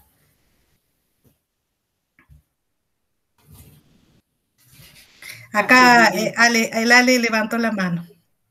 Gracias, Lilian. Eh, bueno, no, yo sumarle ahí al comentario de Lilian, este, hablando desde el otro polo, básicamente, una de las cosas que nos pasó, que todavía no nos pudimos mencionar entre el miércoles pasado y este, es que, eh, bueno, nos encontramos con, con una gran cantidad de alumnos matriculados y exámenes virtuales por primera vez en la historia. Entonces, la primera sensación fue pánico, por lo menos en lo personal, digamos, no sabíamos cómo íbamos a tomar, cómo iba a funcionar. Entonces, lo que quería decir es, bueno, para empezar a reconocer a los que hicieron la experiencia primero, justo se fue Luis Olcese, pero nos dio una mano enorme, porque ellos arrancaron con el primer examen virtual de la facultad y nosotros aprendimos muchísimo de eso. Y bueno, después también eh, lo que resultó en una colaboración muy fuerte entre, por ejemplo, las materias del primer cuatrimestre, porque ahí teníamos un problema común, o sea, los matriculados eran lo mismo, todos teníamos mucho más sala de las que podíamos manejar en esos exámenes virtuales, y la verdad que aprendimos colaborando, o sea, nos sumamos al examen del que tomó primero, eh, aprendimos algunas cosas que salieron bien, otras que salieron mal, y después nos sumamos al del segundo, y después los del primero se sumaron al nuestro, y yo creo que ese aprender colaborando fue más o menos lo que estamos haciendo hoy, ¿no? O sea, aprender de la experiencia del que, de que lo hizo primero por una cuestión fortuita, ¿no es cierto? Porque, bueno, obviamente no, nadie esperaba lo que pasó y todos tuvimos que improvisar, pero, pero bueno, yo en lo personal y creo que todo el equipo de docentes del Laboratorio 1 eh, tuvimos la suerte, si se quiere, de que tomamos los exámenes virtuales al final, por lo tanto, colaborando con otras materias del mismo cuatrimestre, tuvimos la oportunidad de,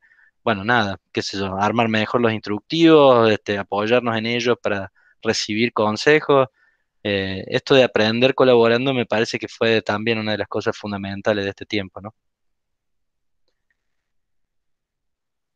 Gracias, Ale, por el aporte. ¿Alguien más?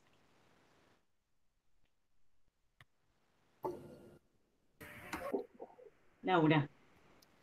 Alicia, hola. Laura y Facu. Hola, soy Alicia, ¿me escuchan bien? Eh, bajo. escuchan medio bajo porque tengo una cámara medio viejita. Bueno, eh, no llegué al proyecto RAM todavía. Em, eh, bueno, yo no estuve la semana pasada, em, así que bueno, me perdí algunas cosas. Janina me contó, nosotros estamos dando docentes juntas, yo soy de química biológica, me contó un poquito lo que había pasado. La verdad, unos genios chicos lo, lo que han ido pensando esas cabezas. Eh, yo estoy en una asignatura de quinto año de, tres carreras, farmacia no de las otras tres, y es electiva, entonces, bueno, estamos hace varios años con Janina tratando de, adaptar los, los contenidos y varias cosas, porque son tres carreras que ahora vienen con base bien diferente y demás. Eh, no, no, la experiencia nuestra, bueno, fue virtual, asincrónica, bueno, comparto muchísimo de todo lo que ustedes eh, no voy a aportar nada nuevo, la verdad que eh, tratamos de estar disponibles sincrónicamente una vez por semana. El año pasado no lo hicimos obligatorio, em, porque bueno, consideramos que era un problema tal vez para mucha gente conectarse. Entonces directamente les permitíamos aprobar una pequeña actividad que era por Moodle eh, los viernes. Fuimos así relajadas, digamos. Y la verdad tuvimos una buena respuesta. Después los EUI les fue bien y y logramos tener una buena interacción. Este año estamos un poquito más, eh, vamos a ajustar un poquito más, porque bueno, ya hay más disponibilidad y demás, entonces vamos a hacerlos participar más todavía en actividades sincrónicas. Pero lo que quería dejar picando un poco, soy un poco ansiosa, entonces me encantó todo esto, la, la reflexión de toda la parte virtual, y yo me pregunto ahora, ¿qué, va, ¿qué pasa después? ¿Qué va a pasar el año que viene? Soy ansiosa, sí. Entonces, ¿qué pasa ahora? Porque tenemos una, eh, eh, no me sale la cantidad de alumnos impresionante que se está viniendo a la facultad, o sea, tenemos cantidad de inscritos, 500 alumnos para el laboratorio 4, qué sé yo, el que yo me acuerdo, ustedes seguramente años más chicos tienen mucho más, y no hay lugar, y no hay lugar para hacer tantos laboratorios y demás. Entonces, ¿qué pasa? ¿Qué va a pasar con todas estas implementaciones que hicimos ahora? ¿Nos van a servir para después? ¿Hay cosas con las que nos podremos quedar? Nosotros, la última, en, es una materia de quinto año, donde los chicos tenemos bioquímicos que vienen ya con un montón de práctica de un año de laboratorio, tenemos biotecnólogos que van a ir a una biotec, y en el medio que está nuestra materia ahí que la verdad es que no tiene mucho sentido darle un práctico. Entonces tenemos que realmente dar estrategias, queremos para futuro, aunque no haya virtualidad, estrategias para contarles cosas o mostrarles cosas virtualmente de, de laboratorio más avanzado y demás. Em, nada, la dejo picando ahí. ¿Qué va a pasar con todo esto que aprendí? Y gracias porque estuvieron buenísimas todas las, las ideas. Vamos a robar varias, lo de las preguntas me gustó, así que ahora este cuatrimestre te van a odiar Facundo porque voy a empezar, vamos a empezar a pedir que hagan preguntas en vez de responder preguntas. Es muy interesante eso que planteó ahí el, Facundo en relación a que para poder hacer una pregunta, muchas veces en el área, cuando hablábamos con algunos profes o incluso cuando llegan estudiantes en entrevistas, eh, partir desde las dudas, poder construir una duda, por una parte, y animarse a hacerla, alguien que sabe, digamos, ¿no? Es como, es todo un tema, pero sobre todo eso, el poder identificar una duda es porque entonces puedo hacer pie en algún lugar, y el hacer pie en algún lugar es un punto de saber, ¿no? es interesante.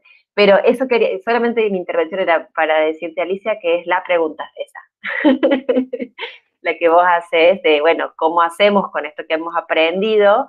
Que es un poco la intención de estos talleres, de que vayamos poniendo en común cuestiones que retomaremos y veremos cómo retomar en las jornadas de ingreso, permanencia y ingresos, ¿no? Entonces, es un poco también incluso una pregunta para hacernos esa, ¿no?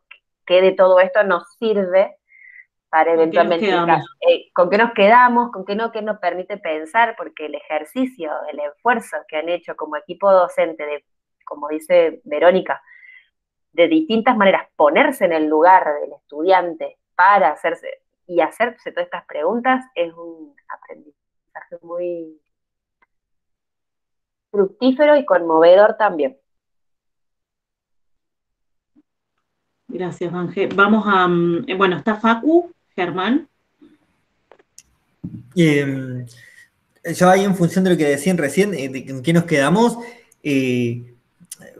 en, esto, en esta idea de virtualidad, presencialidad, tampoco hay que romantizar la, presencialidad. digo, me parece que estamos todos en una sintonía más o menos similar, acá al menos, ¿no? Pero digo, no romanticemos la, la B3 con chicos en el piso eh, y los del fondo no escuchan, digo, eh, desigualdades ha habido siempre, digamos, eh, ahora la desigualdad es tecnológica, ¿no? Y hay que operar sobre eso, y, me parece que la facultad, la universidad lo ha hecho, digamos, bien o mal, digamos, pero han hecho cosas, eso me parece está bien. y yo como denominador común entre lo, lo que escucho, lo que veo, pienso también que justo ahora que están las, partes prácticas, eh, eh, hoy eh, hay mucho, todo lo que han contado o hemos contado tiene que ver con ponernos en riesgo, con, con ponernos en un lugar que, que es dudoso, que, que, si hemos hecho cosas así ha sido siempre medio callado para que el titular no me rete, que estoy tomando memes, o que, digamos, algo de esto existió desde antes, me parece que la, pandemia nos ha dado cierta libertad para decir, bueno, hago en este MIT lo que yo, lo que yo quiero, total, digamos. Eh, entonces, por un lado esa idea de ponernos en riesgo, pero por otro lado también la idea de que eh, veo esto, ¿no? De que nos hemos corrido del rol de docente expositivo eh, que viene a hablar y a explicarnos lo que él sabe y tanto sabe y, que sin su conocimiento el, chico no va a ser un buen bioquímico. Eh, nos hemos corrido ese lugar y pensar un poco en que somos más una especie de, nada, de facilitadores. Yo pienso en Laboratorio 3, la materia se reestructuró toda y hubo contenidos que se, comillas, comillas, sacrificaron, digamos, en pos de, en pos de qué? Y en pos de que había una pandemia mundial que estaba matando gente y yo no me voy a poner con deadlines a decir, chicos, para el viernes tiene que estar sí o sí la pruebita de, digo, eh, nos permitió dar, eh, dar cierta flexibilidad. Eh, me parece que esas son algunas de las cosas que también está bueno que quedan, ¿no? De, de que si volvemos a, las baterías B, eh, vuelve a la pizarra y la tiza y sea todo, todo lo mismo, ¿no? Eh, esta idea de que recién decía Lilian del orden, yo me quedo con eso, ¿no? Porque el, el, aula es el lugar para que no haya orden. El aula, el aula es, salvo los laboratorios para cumplir con los protocolos, pero digo, em, el, aula es justamente el lugar para corrernos de lo sacro y poner todo en duda, incluso poner en duda lo que el profe está diciendo. Eh, no hay nada más eh, interesante y propositivo y ventajoso para los chicos y las chicas que, poner eso en jaque, ¿no? Hasta dudar hasta de lo que el profe dice. Eh, y, buscar lo que haya que buscar quizás por otro lado, ¿no? Bueno, yo voy tomando nota un montón de titulares. Germán. comparto completamente con lo que vienen diciendo. Voy a intentar ser breve. Eh, una cosa que han desarrollado varios y que apelo 100% es intentar el feedback, intentar encontrar esa voz que está muy perdida en la virtualidad del, estudiantado. Y muchos lo han hecho a través de encuestas. Eh, puntualmente recuerdo la, charla que acaba de dar Daphne. Eh, tenemos en la cabeza como el concepto de que tener una idea de lo que les le es difícil al estudiantado se hace a través de una encuesta en papel.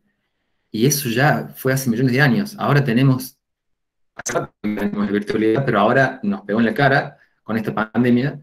Y quizá una adaptación que todavía nos falta hacer un clic viene por ese lado. Hay un gran porcentaje de feedback que nos estamos perdiendo y que, sin ir más lejos, uno puede diseñar cuestionarios ya pensando en el feedback que uno va a tener respecto de cuántas personas, cuántos estudiantes respondieron bien o mal a una pregunta. Si en una pregunta yo pongo todos los conceptos, que los estudiantes lo hagan mal, no me va a decir qué es lo difícil de, un tema. Si yo voy partiendo el cuestionario en cuestiones claves y que yo luego identifico, ah, mira, al 80% le fue bien en esto, esto está bien entendido. Al 20% le fue mal en esto, o, bien, eh, en esto, en fin, uno puede hacer una lectura, pero para eso tiene que ir pensando ya que una posibilidad que brinda el cuestionario con respuestas detalladas de Moodle es justamente poder hacer esta, esta lectura. Lleva un tiempito, pero es súper útil. Pero digamos, meterlo tan en el core del cerebro que uno ya piense los cuestionarios pensando en cómo va a ser esa lectura posterior. ¿Bien? Entonces, eso, más que nada, eh, revalorizar lo que sería el, feedback a través de herramientas virtuales, que hay un montón. O sea, el mismo cuestionario de Moodle puede ser al final de un ejercicio, al final de un cuestionario, qué eh, tema o qué subtema de esta unidad te cuesta más.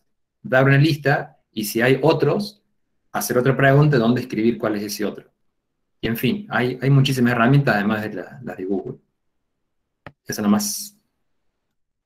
Gracias, Ger. Em, tiene la palabra, entonces vamos haciendo el cierre eh, para no extendernos mucho. Eh, Dafne. Sí. Brevísimo, brevísimo. En cuanto a lo que presentó Facu, me parece ultra importante eso de, mencionar, dar respuestas a preguntas que no se hicieron. Surgió bastante también en congresos en cuanto a no tomar preguntas para que respondan y busquen un texto que tiene una como capacidad cognitiva muy baja, sino justamente la generación, o sea, que la consigna era que estudiantes generen preguntas que se respondan con un texto y preguntas que no se respondan con un texto. Esas, como para dejarlo ahí, me parece súper importante.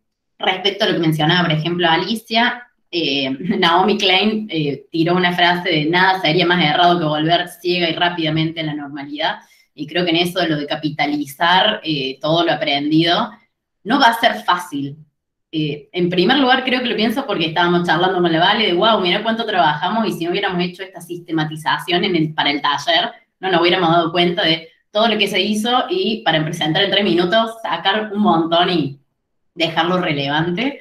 Eh, y creo que cuando uno quiere volver a la normalidad va a ser como, bueno, listo, ahora se vuelve y va a haber que generar los espacios de debate, decir, no, yo quiero dejar el procesado de espectro, me parece importante, y quizás sacar un trabajo práctico para que puedan hacer. O sea, vamos a tener que tener un par de debates, dejar los campeonatos y quizá cueste porque se puede hacer algo presencial y decir, no, quiero mantener los campeonatos porque miren todo esto que, obtuvimos.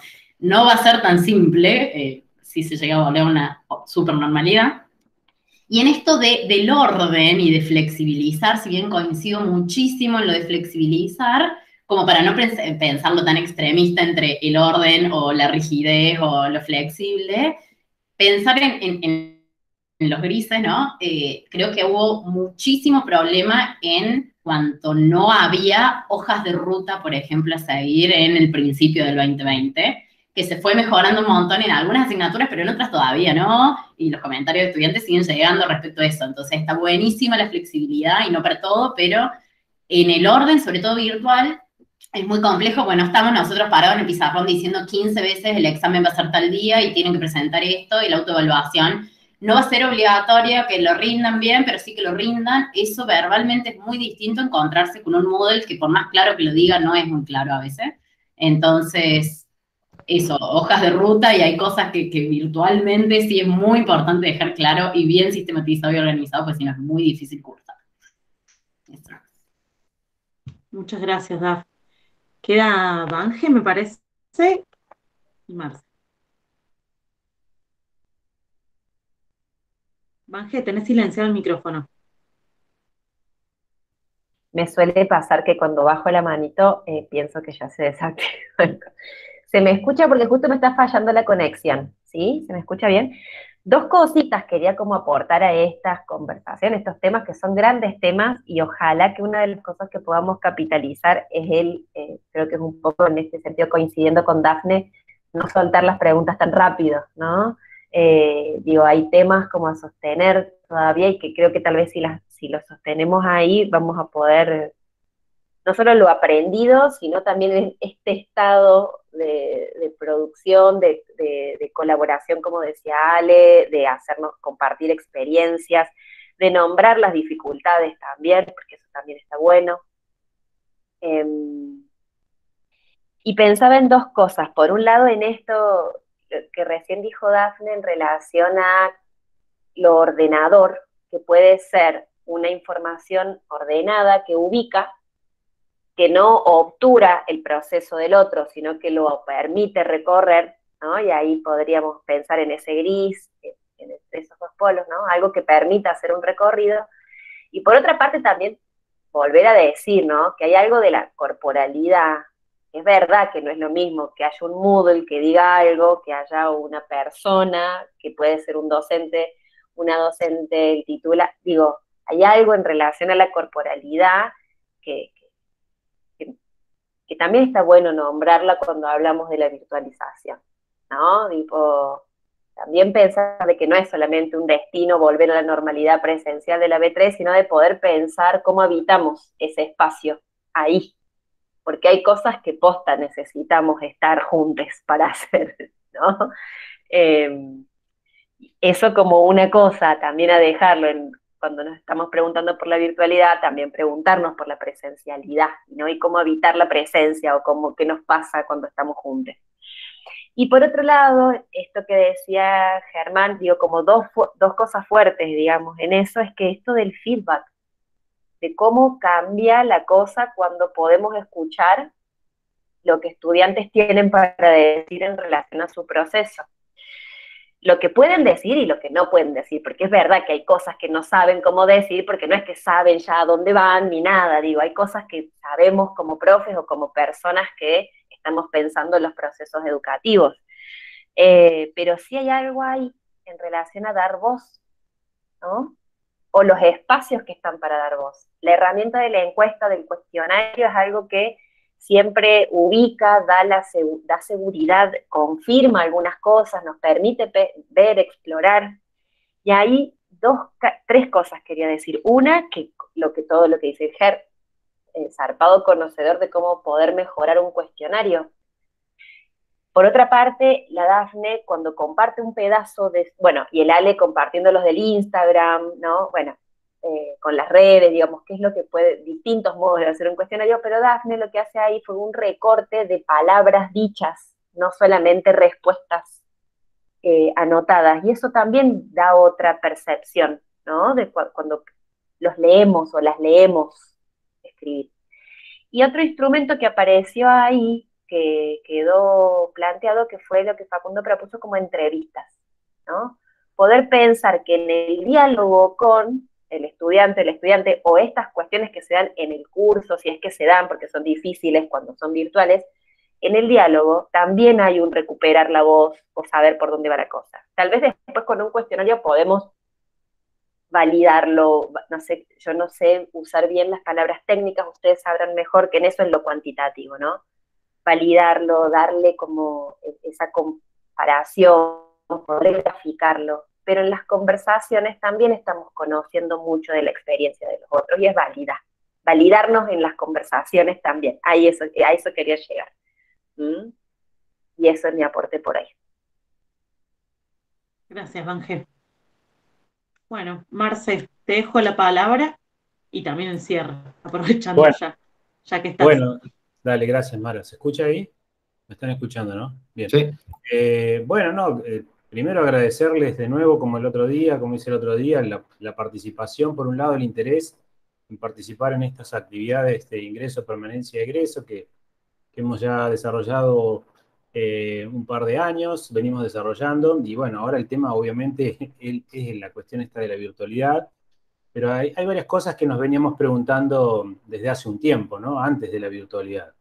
Eh, nos preguntábamos justamente estos eh, factores que, inciden en, el, desgranamiento, en el abandono de, los estudiantes. Nos preguntábamos también en, unas jornadas previas acerca de, los métodos de evaluación, de cómo estamos evaluando y demás. Y ahora, bueno, evidentemente la pandemia y, la, y esta educación eh, virtual de emergencia nos ha llevado, digamos, a reflexionar mucho más profundamente y, hoy estamos acá compartiendo estas, estas historias, estas experiencias que son eh, efectivamente muy enriquecedoras y sentimos también por ahí esto de que, bueno, ¿dónde, ¿dónde puedo encontrar todo esto? Sobre todo ocurre eh, en docentes que por ahí tienen un poco más de distanciamiento en las tecnologías, ¿no?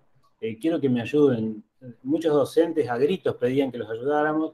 Eh, intentamos desde la facultad ayudarlos con distintas herramientas, pero eso es algo que tenemos que, que sistematizar, institucionalizar y darle forma. Por eso creo que este proyecto que, hemos venido hablando desde hace un tiempo de crear una unidad educativa dentro de la facultad, una unidad educativa en, términos de que pueda desarrollar, desarrollarse inclusive investigación en la educación de las ciencias eh, básicas eh, o en las ciencias que nosotros eh, desarrollamos, es fundamental. Creo que tenemos que, que darle forma en un futuro muy cercano a esa idea de poder eh, eh, profundizarlo, ¿no? Tenemos un doctorado eh, en, el cual nuestra facultad participa, el doctorado en Educación en Ciencias Básicas, que también va a ser un suministro muy importante en todo esto. Miren, nosotros, bueno, el otro día lo conté, pero no, lo, vuelvo a remarcar porque nosotros en, febrero de 2020, cuando no teníamos pandemia todavía, o sea, sí, la pandemia había empezado en China, pero pero acá no, todavía no, ni, pensábamos que iba a pasar lo que pasó, eh, con Germán, eh, que estaba en Matemática 1, yo en ese momento estaba en Física 1, empezamos a grabar clases eh, porque nos dábamos cuenta ya desde hace unos años que los teóricos de primer año, con más de 700, 800 estudiantes, no tenían ningún sentido pararse dentro de la B3 y darle clase a, a cientos de estudiantes que inclusive salían por las ventanas eh, no tenía ningún sentido eso. Y bueno, y la verdad que era muy incómodo ir a dar clases así. Eh, pensábamos que no tenía ningún sentido. Y por eso empezamos a, grabar como pequeños micros, digamos, o sea, videitos de, lo que se daba en el teórico. Y bueno, y después vino la pandemia y todos terminamos haciendo ese tipo de cosas, pero, pero eso es algo que venimos ya desde hace un tiempo eh, detectándolo, reflexionando, y creo que, bueno, esta es la oportunidad. Ahora tenemos una oportunidad donde, bueno, de golpe y sin previo aviso todos nos tuvimos que embarcar. Eh, por supuesto que nuestras carreras son presenciales. Eso quiere decir que el 49,9% de la carrera se, eh, no puede dictarse de formas virtuales. Tiene, tenemos que tener actividades presenciales. Y eso es así y yo creo que hay que ponerle mucho foco en la actividad experimental, en la actividad de laboratorio, en las actividades de interacción, en, los talleres. Ese tipo de actividades tiene que ser presenciales, además porque la presencialidad no es solo, a, como dijo eh, Facu hace un rato, no es solo que uno va y ahí se para y repite algo, sino que ir al aula, habitar el aula, es un proceso mucho más amplio, ¿no? De, sociabilización, es un, proceso lindo justamente para romper esa, esa estructura de la enseñanza clásica, ¿no? Por eso hablamos de enseñanza-aprendizaje como un proceso.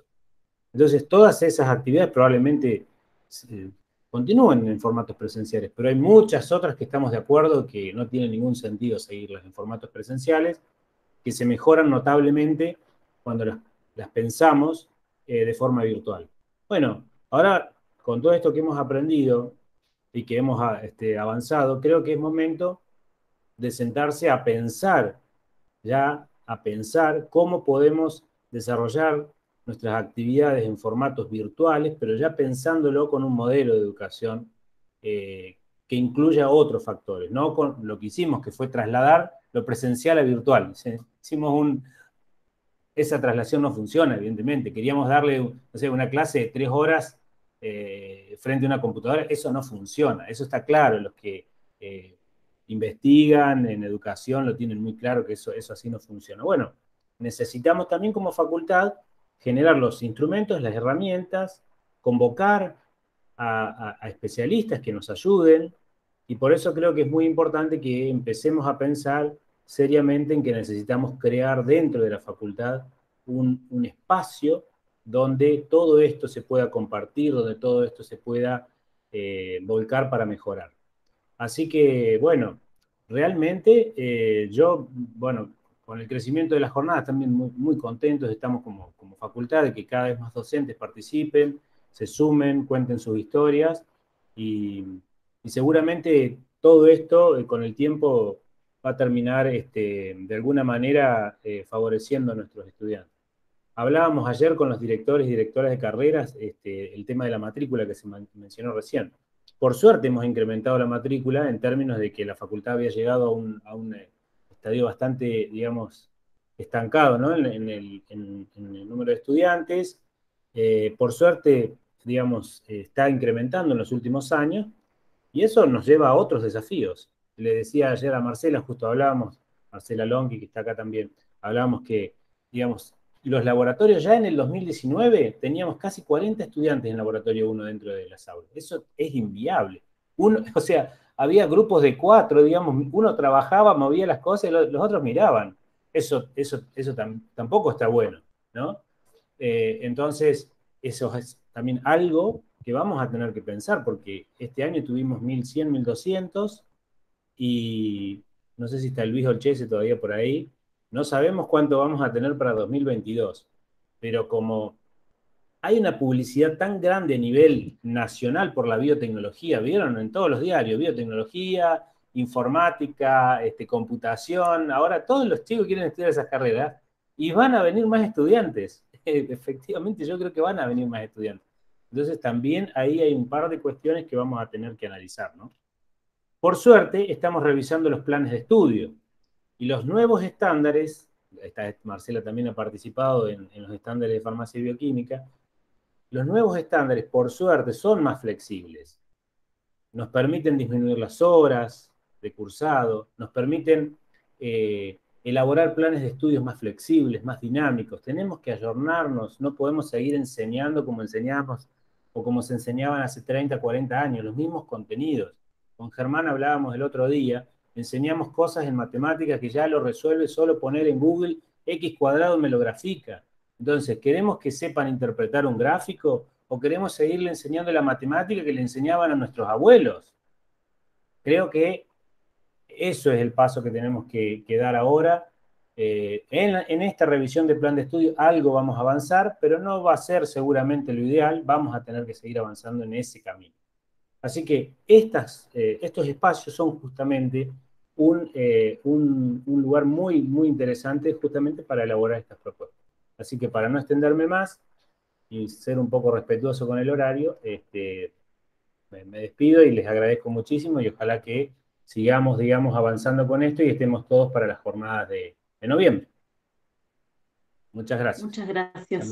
Muchas gracias, Marce, y muchas gracias a todos y a todas quienes han colaborado con también con pensar la jornada, porque como decía al principio, la pensamos junto con, con docentes y partiendo de su experiencia, y estuvimos desde abril pensando los ejes y discutiendo a veces horas, eh, porque había mucho para compartir, pero bueno, eh, era necesaria esta instancia de escucha. Así que bueno, nos encontraremos en noviembre, tal vez haciendo eh, con la pregunta de con qué nos quedamos, porque es como es necesaria para seguirnos pensando, así que seguramente nos, nos encontraremos. Estos, los dos talleres, yo lo pasé en el chat, digamos, quedan grabados eh, van a estar cargados en, el canal de YouTube para poder revisarlos, ver, y compartir las experiencias. También en algún momento nuestra idea es poder sistematizar los trabajos presentados para, para que sirvan como herramientas, insumo para, para, para, para, todos los docentes y las docentes. Así que, bueno, eso, muchísimas gracias eh, y nos encontramos en noviembre. Saludos a todos y a todas gracias. a todos. Gracias. muchas gracias. Nos vemos. Que anden bien. Chao, buenas tardes. Buenas tardes a todos. Chao, buenas tardes. Gracias a todos. Mara, no sé si dejó de grabar. Mara, ¿puedes dejar de grabar? No.